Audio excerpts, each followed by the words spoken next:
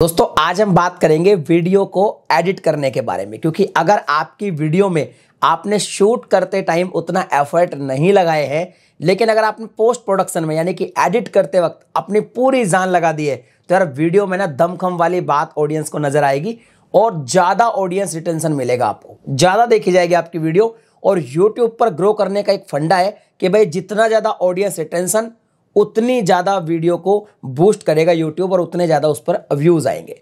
अब यहाँ पे एडिट तो सभी करते हैं अपनी वीडियो को, लेकिन मैं बहुत सारे चैनल जब रिव्यू करता हूँ तो मुझे पता चलता है कि बहुत सारे लोगों को एक्चुअल में पता ही नहीं है कि सही में वीडियो कैसे एडिट करते हैं। आज की इस वीडियो में मैं आपको पाँच टिप दूँगा जिनसे आपकी एडिटिंग बहुत ज़्यादा नेक्स्ट लेवल की हो सकती है और पाँच ऐसी मिस्टेक के बारे में भी बताऊँगा जो आपको अवॉइड करनी चाहिए। तो इस वीडियो को कंप्लीट देखेगा बहुत ज़्यादा इंफॉर्मेटिव और नॉलेजेबल वीडियो ये होने वाला है। वीडियो को अभी से लाइक कर दीजिएगा। चैनल को सब्सक्राइब नहीं किया सब्सक्राइब करने के साथ साथ नोटिफिकेशन बेल को दबा के ऑल पे भी क्लिक कर लीजिएगा। ऐसा कंटेंट आपको यहाँ पे मिलता रहता है। नमस्कार दोस्तों, मैं हूँ योगी योगेंद्र। आप देख रहे हैं technical Yogi. No drama no click bait all tag दोस्तों, मैं आपको एक चीज़ पहले ही क्लियर कर देता हूँ। मैं खुद कोई बहुत बड़ा प्रोफेशनल एडिटर नहीं हूँ। लेकिन मुझे यूट्यूब पर वीडियो क्रिएट करते हुए काफ़ी टाइम हो गया पाँच साल से ज़्यादा टाइम हो गया है, ढाई हज़ार से ज़्यादा मैं अलग अलग टाइप की वीडियोस क्रिएट कर चुका हूँ तो अपना एक्सपीरियंस आपके साथ शेयर कर रहा हूँ। देखिए एडिटिंग के लिए सबसे जो पहला मेरा टिप है, वो टिप ये है कि आप किसी भी कैटेगरी में वीडियो क्रिएट कर रहे हैं।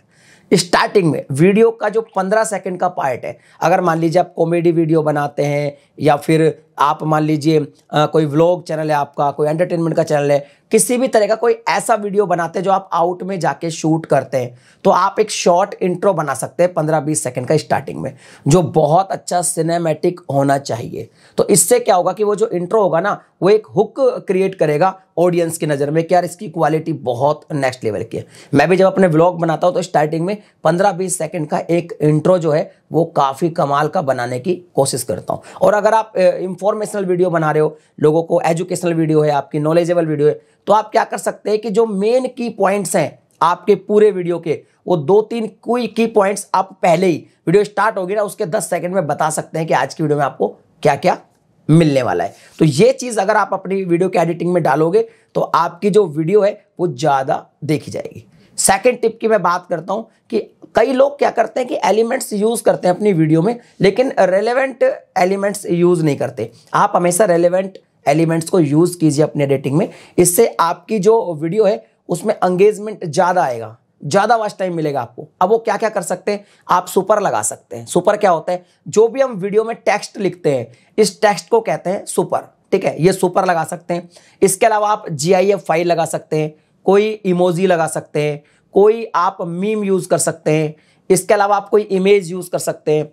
इसके अलावा भी आप कोई कॉपीराइट जो फ्री फुटेज होते हैं स्टॉक फुटेज जिनको हम बोलते हैं, वो आप यूज़ कर सकते हैं। लेकिन वो करें रेलिवेंट जिसकी हम बात कर रहे हैं, वही यूज़ करें। जैसे मान लीजिए, मैं कोई वीडियो बना रहा हूँ और मैं ये कहता हूँ कि ये करने से आपका चैनल काफ़ी ज़्यादा ग्रो हो सकता है। तो अब आपने देखा ना ग्रो का मैंने एलिमेंट यहाँ पे यूज़ किया। इस तरीके से आप एलिमेंट यूज़ करेंगे तो लोगों की जो नज़र उनके सामने नई नई चीज़ें बार बार आएँगी तो आपका जो ऑडियंस रिटेंशन है, वो बढ़ता चला जाएगा। अब यहाँ पे जो तीसरा टिप है मेरा, वो ये है कि जब आप एडिट कर रहे हैं वीडियो को, चाहे वो किसी भी कैटेगरी को, कुछ कूल cool इफेक्ट्स उसके अंदर डालें। जैसे आप टाइम रीमैपिंग कर सकते हैं, अगर आप आउटडोर शूट करते हैं टाइम रीमैपिंग करेंगे तो आपका जो वीडियो है, वो बहुत इंटरेस्टिंग लगेगा। मैं एक एग्ज़ाम्पल आपको दिखाता हूँ।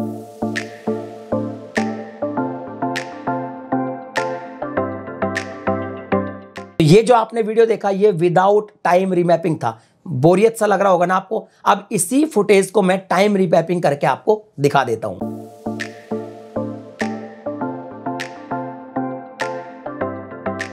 इसके अलावा आप R G B glitch effect use कर सकते हैं। इसके अलावा आप की फ्रेमिंग कर सकते हैं। इसके अलावा जब आप सिनेमैटिक इंट्रो बना रहे हैं सिनेमैटिक शॉट दिखा रहे हैं ड्रोन शॉट दिखा रहे हैं तो आप ब्लैक बार का यूज़ कर सकते हैं। और यहाँ पे अगर आप इस तरह से करते हैं तो आपकी जो एडिटिंग है, जो आपके सिनेमैटिक शॉट है, वो नेक्स्ट लेवल के लगते हैं। और आपकी जो एडिटिंग है, वो काफ़ी कमाल की लग जाती है। और यहाँ पे मेरा जो चौथा टिप है, वो ये है कि आप म्यूज़िक यूज़ करते हैं अगर अपनी वीडियो में, चाहे वो किसी भी कैटेगरी की वीडियो हो तो वहाँ पे मूड के हिसाब से म्यूज़िक यूज़ करें। बहुत सारे लोग क्या होता है कि विजुअल का मूड अलग होता है, और लेकिन वो जो म्यूज़िक यूज़ करते हैं ना, वो रॉन्ग म्यूज़िक यूज़ करते हैं। उससे वो जो फील आना होता है ना वीडियो में, वो नहीं आता है। अब आप कहोगे कि इसको हम कैसे समझ सकते हैं? तो चलिए मैं आपको एक ऐसा एक फुटेज दिखाता हूँ, जिसके अंदर रॉन्ग म्यूज़िक यूज़ किया गया है।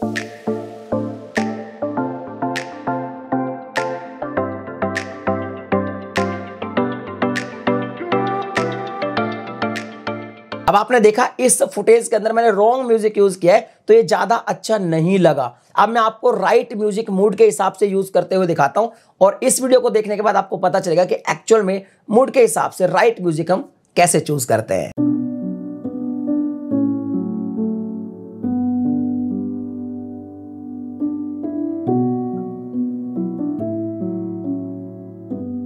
अंत में जो बात आती है, वो आती है हमारा पांचवा पॉइंट और ये जो पॉइंट है, ये बहुत ही ज़्यादा बहुत ही ज़्यादा कमाल का लगता है अगर आप इसको यूज़ करते अपनी वीडियो में। और ये है कलर करेक्शन और कलर ग्रेडिंग देखिए, दोनों चीज़ें अलग अलग है। कुछ लोग दोनों को एक ही समझते हैं, लेकिन दोनों अलग है। एक होता है कलर करेक्शन आपने आउट में कोई वीडियो शूट किया आउटडोर में, आप व्लॉग करते हैं या कोई भी डॉक्यूमेंट्री कर रहे हैं, कुछ भी तरह का वीडियो बना रहे हैं, उसमें जो कलर एक्चुअल हमें दिखने चाहिए, वो कैमरा ने रिकॉर्ड नहीं किए तो हम उसे करेक्ट कर देंगे। करेक्ट करने के बाद वो कलर ज़्यादा अच्छे लगेंगे।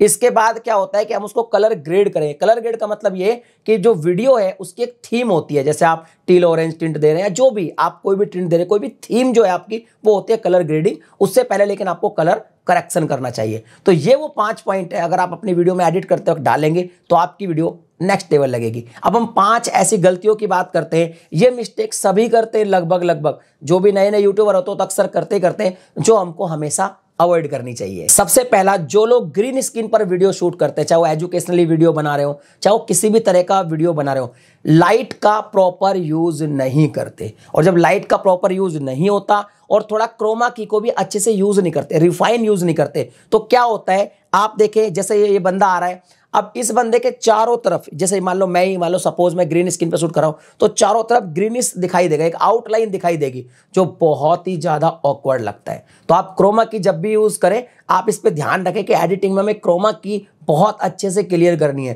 ताकि किसी को लगे भी नहीं कि क्रोमा पे शूट हुआ है तो वो ज़्यादा आप रिफाइन उसे कर सकते हैं। अगर आपके चारों तरफ़ किसी भी जो आपका सब्जेक्ट उसके चारों तरफ़ अगर ग्रीन आउटलाइन दिखाई देगी तो वो बिल्कुल भी अच्छा नहीं लगेगा। दूसरी यहाँ पे जो मिस्टेक है वो ये है कि आप एडिटिंग करते वक्त पेसिंग यूज़ नहीं करते। यानी जी मान लीजिए आप कोई भी वीडियो बना रहे हैं, कोई व्लॉग कर रहे हैं कुछ भी कर रहे हैं, आपने डेढ़ मिनट का कोई शॉर्ट देना है, डेढ़ मिनट का कोई डायलॉग है। आपकी कॉमेडी वीडियो हो सकती है, किसी भी तरह की कोई वीडियो हो सकती है। डेढ़ मिनट का अगर आपका डायलॉग है और आपने एक मिनट का, डेढ़ मिनट का डायलॉग एक ही बार में बोल दिया, उसमें कोई ना मूड चेंज हुआ, ना विजुअल चेंज हुए, ना एंगल चेंज हुआ कुछ भी चेंज नहीं हुआ तो वो बोरिंग फील कराएगा आपकी ऑडियंस को। अगर आपका ऐसा कोई डायलॉग है जो एक मिनट का है, चालीस सेकंड का है तो आप उसको टुकड़ों में कर सकते हैं। मान लीजिए साठ सेकंड का आपका कोई डायलॉग है, आप उसको बीस बीस सेकंड का कट करके अलग अलग एंगल से शूट कर सकते हैं अलग अलग एंगल से एडिटिंग कर सकते हैं। उसमें पेशिंग आपको करना बहुत ज़्यादा ज़रूरी है। क्योंकि उससे क्या होगा कि जो ऑडियंस आपको देख रही है, उसके सामने बार बार एंगल चेंज होगा, चीज़ें चेंज होगी, आपका मूड के हिसाब से जो फुटेज चेंज होगी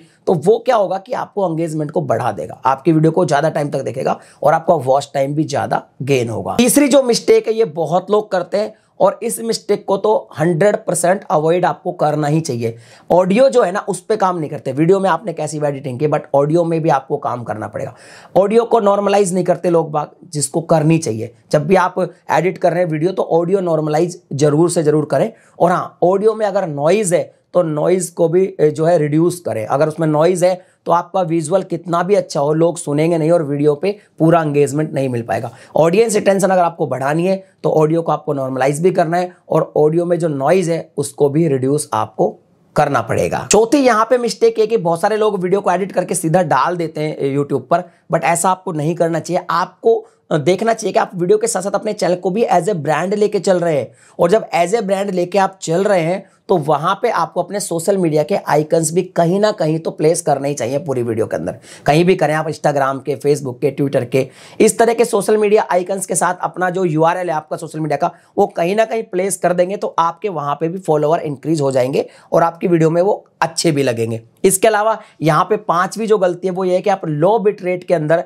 वीडियो को एक्सपोर्ट करते हैं। और जब लो बिट रेट के अंदर वीडियो एक्सपोर्ट होती है तो उसके यूट्यूब पे आने के बाद क्वालिटी बहुत बेकार हो जाती है। और आपको लगता है, यार, इतना अच्छा वीडियो बनाया था बट क्वालिटी खराब हो गई। और ये सिर्फ़ छोटे से लालच में हम करते हैं। हमें लगता है कि, यार, अगर हम बिटरेट हाई रखेंगे तो हमारी वीडियो की जो जीबी है, जो उसका वज़न है, वो ज़्यादा हो जाएगा। तो भाई, ज़्यादा जीबी की अगर वीडियो है तो आप ज़्यादा जीबी की अपलोड करें बट बिटरेट कम ना करें। अगर आप बिटरेट कम करेंगे लो बिटरेट में एक्सपोर्ट करेंगे तो क्वालिटी बिल्कुल बेकार हो जाएगी और लोगों को वो वीडियो पसंद नहीं आएगी।